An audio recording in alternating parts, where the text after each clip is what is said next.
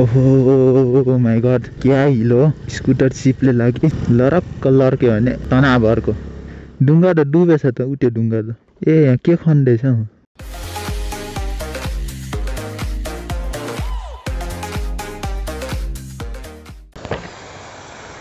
त्यस्तो ठुलो डाना रहेछ। राइट गाइज हामी चाहिँ अहिले यहाँ सेवार खोलामा छौँ है। यहीँबाट भिडियो स्टार्ट गरेको। किनभने कति घरबाट सुरु गर्ने भिडियो यतैबाट स्टार्ट गर्नु पर्यो भनेर। खोला त त्यति ठुलो आना रहेछ। अन्त डेन्जर आइरहेको थियो अस्तिसम्म। So hello everyone welcome back to another video पासा ब्लग होप सबैजना सन्चै हुनुहुन्छ होला। म पनि सन्चै छु। आजभोलि चाहिँ भिडियो लास्ट चाहिँ ढिलो ढिलो भइरहेछ है। अब यस्तै हो के गर्ने र? भिडियो बनाउन निस्किने पनि भएको छैन पानी परेको परे भएको थियो। आज पनि हेर्नु गाइस पानी पर्ने जस्तै गरेछ। उता हाम्रो घरतिर चाहिँ खुल्ला खुल्ला गरेछ है। यतातिर चाहिँ पानी पर्ला जस्तो गरेछ। तर नो प्रब्लम आज चाहिँ सबै व्यवस्था गरेर हिँड्नेछु म। रेनकोट लिएर अब पानी परे पनि बाल छैन बाल। अनि आज चाहिँ एउटा दहतिर जानु लाग्यो गाइस अब म त दहको भ्लगै नबना रहेछु है। अनि यसो सोचेँ घोरै बासिन्दा भएर बाह्र कुने दहको भ्लग नगराएको त शैली मिलेन के अलि? त्यही भएर बनाउन निस्केको यतिकै यसो हावा खान पनि निस्केको चिल मार्न फेरि घाम लाग्ला जस्तो पो गर्यो आज चाहिँ सोलो राइड एक्लै। केटाहरूलाई जाम भनेको है। दसवटा कुरा मात्रै गर्छन् अनि अहिले म त एक्लै। घाम लाग्यो त फेरि। घाम पानी घाम पानी स्यालको बिहे होला नि आज। जङ्गलतिर स्यालको बिहे जस्तो छ। भोज खान जानुपर्छ। ओहो माई गड क्या हिलो? स्कुटर चिपले लाग्यो। स्कुटरको टायर सानो हुन्छ। लरक लर्क्यो भने तनाव अर्को उतातिर हेर्न सक्नुहुन्छ गाइस पुरै कालो गरे। पानी पर्यो क्या? यता घाम लाग्यो उता पानी पर्ने जस्तो गरेर झन् झन् कालो मानिन्छ। यतातिर चाहिँ मौलाकोट भयो गाइस। मौलाकोट पनि पुरै बाँदरले छेक्यो अनि यतातिर चाहिँ हात्ती खर्का है गाइस। हात्ती खर्का नि पुरै बाँदरले छेक्यो यस्तो बेला पहाडको टपमा पुग्यो भने क्या मजाको भ्यू देखिन्छ होला नि। पुरै सबै बाँदरले बाँदर कोरै कोरा चारो तरफ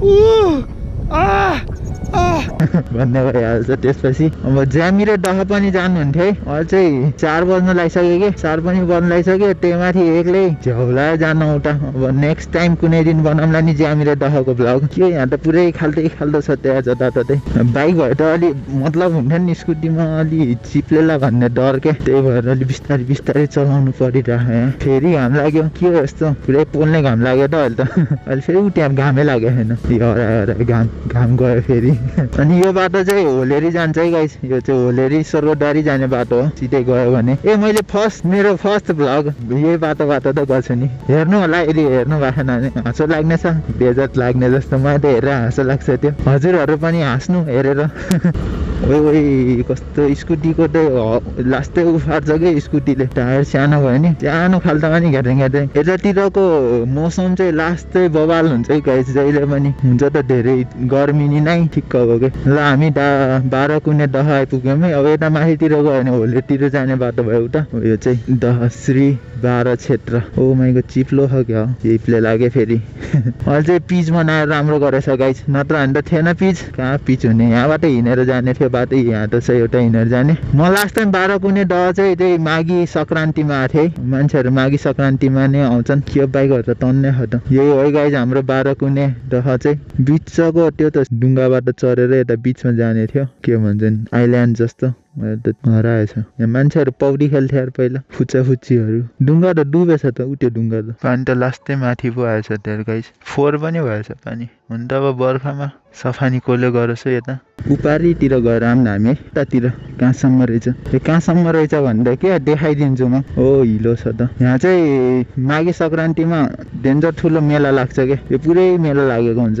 अनि यतातिर चाहिँ यो पिकनिक खानलाई एकदम फेमस छ है गाइज यो ठाउँ। पिकनिक खान मान्छे टन्नै आउँछ नै। यहाँ ओ चिप्लो हो त। के हो जाने हो कि नजाने हो? यो चाहिँ सबै पिकनिकको लागि है एउटा एउटा बनेको यो के भन्छन् यसलाई कटेज जस्तो टाइपको अनि यो बाटो चाहिँ सिधै गयो भने उतातिर उता देखाइदिन्छु है म। त्यहाँबाट ज्यामिरे ताल जाने बाटो हो क्या। खास। हो लगाइस यहीँसम्म है। बाइक स्कुटी गाडी जे जे आउने। अनि यहाँदेखि यता चाहिँ यता चाहिँ माथि पाहाड चढ्ने हो। ए अहिले त सिडी बनाइदियो रहेछ। नत्र भने पहिला त पाहाड चढ्नु पर्थ्यो। एकछिन हेरौँ न कहाँसम्म बने रहेछ सिडी? जे होस् राम्रो भए रहेछ अब। कुनै दिन अब घाम लागेको घाम लागेको दिन आउनु पर्ला यतातिर।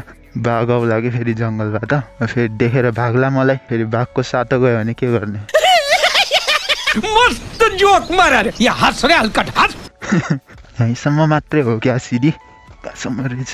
ल माथिसम्म रहेछ जेस राम्रो सिडी बनाएको यस्तो टुरिस्ट प्लेसहरूमा बनाउनु पर्छ है। अनि पो टुरिस्टहरू आउँछन्। अहिले सिडी नबनाएको है कति चिप्लिनु पर्थ्यो माथि माटोमा। खै त्यति दौडेको सासै फुल्यो यार यता चाहिँ खुब डेटिङ आउने ठाउँ क्या गाइस? खुब डेटिङ आउँछन् यतातिर। के गर्ने? आफू चाहिँ एक्लै आउनु परेछ।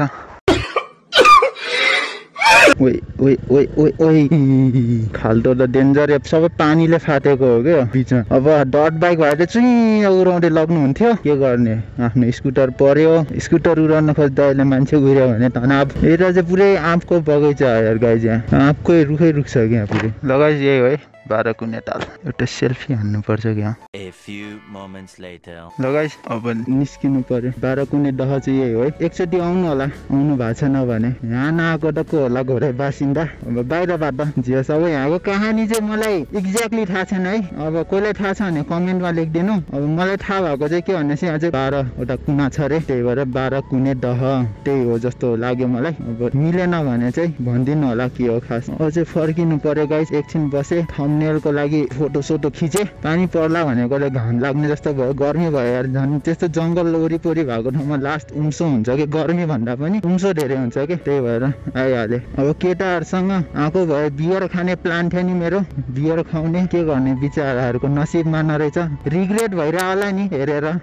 तिमीहरू तिनजनालाई। अनि गाइज त्यहाँ पम्निर के? जहिले चेकिङ हुन्छ कि गाइज अनि त्यसको लागि चाहिँ म सिकाउँछु कि? निस्किने तरिका है त्यहाँ चेकिङ हुन्छ नि धेरै जसो। त्यही भएर ऊ यहाँबाट बाटो छ कि तलतिर नि? यहाँबाट बाटो छ अनि यहाँबाट कहाँ निस्किन्छ भनेर चाहिँ म ठ्याक्क देखाउँछु है ठ्याक्क उता साइडतिर निस्किन्छ कि? ए कोहीको लाइसेन्स छैन घुम्न निस्किनु भएको तर अगाडि चेकिङ छ भने चाहिँ निस्किने बाटो यतातिरबाट। फेरि तैँले सिकाउँछ यस्तो यस्तो कुरा भनेर मलाई मामा घर लग लाग्यो। अनि मामा घरमा ब्लग भनेर फेरि ब्लग आउँछ। मैले भनेको चाहिँ चाहे गाइज चेकिङ हुने ठाउँ चाहिँ यहाँ हो है। ठ्याक्क यहाँ चेकिङ बसिदिन्छ कि? आजभोलि के बस्नु होला रे? यस्तो हिलै हिलो छ यहाँ। त्यही पनि धेरै जस्तो बस्ने ठाउँ यहाँ हो कि? पहिला पहिला त्यही हुन्थ्यो कि अब आजभोलि चाहिँ खै थाहा छैन। हो गाइज त्यो अघिको बाटो भनेको ठ्याक्क यहाँ निस्किन्छ क्या। ट्याक्क लाएर यहाँ निस्किन्छ। कहिले काहीँ त्यस्तो परिहाल्यो भने यताबाट आउँदा हुन्छ। ल गाई चाहिँ यतातिर त घाम पो लागेको छ हेर्नु यतातिर क्या खुल्ला गरेछ है। यतातिर चाहिँ कालो गरेछ क्या पुरै। ल गाइज अब त्यही हो आज दहको भ्लग पनि बनाइहाल्यो। हुन त म दहको भ्लग पछि बनाउँछु भन्दै बसेको थिएँ। तर यसो सोचे पछि पछि भन्दा भन्दा कहिले पछि कहिले पछि त्यही भएर पछिको लागि कहिले कुर्नु हुँदैन। मनमा जे आयो त्यो गर्नुपर्छ। अनि त्यही हो अब आजको भ्लग चाहिँ यतैतिर इड गर्नु पर्ला जस्तो छ। छोटो मिठो भ्लग यतातिर अब हाम्रो भइहाल्यो भाइरल चौतारी। अनि guys, आजको भ्लग चाहिँ यतैतिर इन्ड गरौँ है। यदि यहाँसम्म हेर्नुभयो भने लाइक गरिदिनु। च्यानलमा नि हुनुहुन्छ भने चाहिँ सब्सक्राइब गरिदिनु है। अब हाम्रो भाषा भ्लग फ्यामिली छिटै वान के पुगाउनु पर्छ अहिले चाहिँ त्यही सेभेन हन्ड्रेड फोर्टी थियो। अब छिटै अब टु हन्ड्रेड सिक्सटी मात्रै बाँकी छ। छिटो पुऱ्याइदिनु त्यो पनि। वान के पुग्यो भने भ्लग बनाउन पनि मजा आउँछ त्यसपछि। ओइ कस्तो ढुङ्गाबाट बिच बिचमै ढुङ्गा हुन्छ अरे। त्यही भएर होस पुऱ्याएर कुदाउनु पर्छ नेपालको बाटोमा। कहिले खाल्टो ढुङ्गा जति बेला पनि आउन सक्छ। त्यही अब भ्लग चाहिँ यतै इन्ड गरौँ। Thanks for watching stay safe see you next vlog until then take care bye bye